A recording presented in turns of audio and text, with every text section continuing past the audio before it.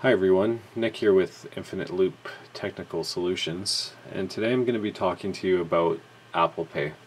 For those of you that don't know what Apple Pay is, it's Apple's payment system that allows you to use your debit and credit cards virtually on your iPhone.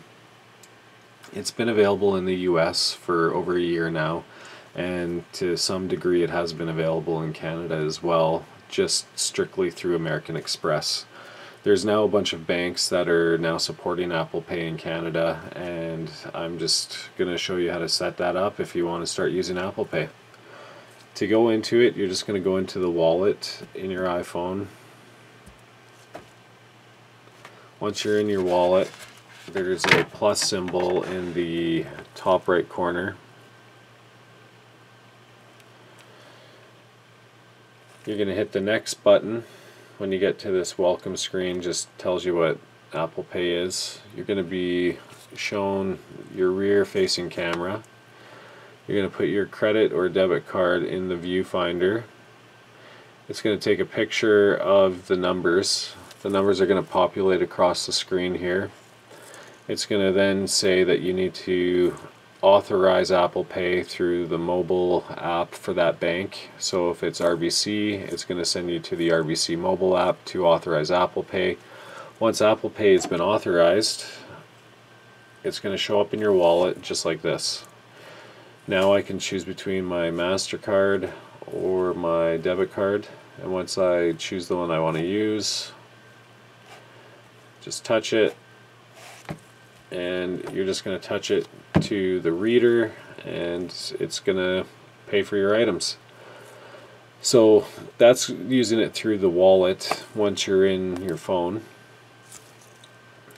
But if you want to access Apple Pay really, really quickly, if you're at a drive through or just going anywhere to shop and you just don't want to go in your phone, this is activated automatically on the iPhone. You can turn it off, but by default, it's always turned on to start with. And all you do is double tap your home button.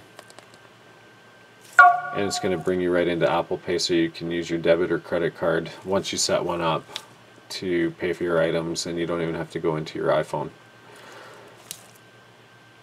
I'm wearing gloves so it won't allow me to read my fingerprint. I can use the passcode for my iPhone, but that is not what I'm trying to show you to do right now.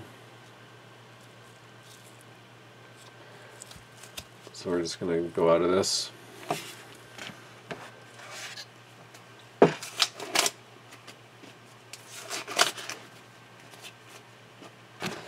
Now, once we go back in here, just double tap.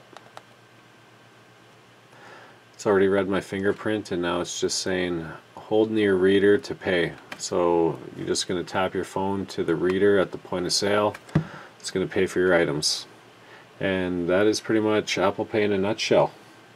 So I really hope you found this video helpful. If you guys want any videos done on anything else on an iPhone that you really don't know how to use and you'd like a little more instructional help with it, just shoot us a comment in any of our videos or send us a message on Facebook or Twitter or check out our website at repeatingloop.com. Like I said, I hope you found this helpful and check out some of our other videos. Thanks for watching.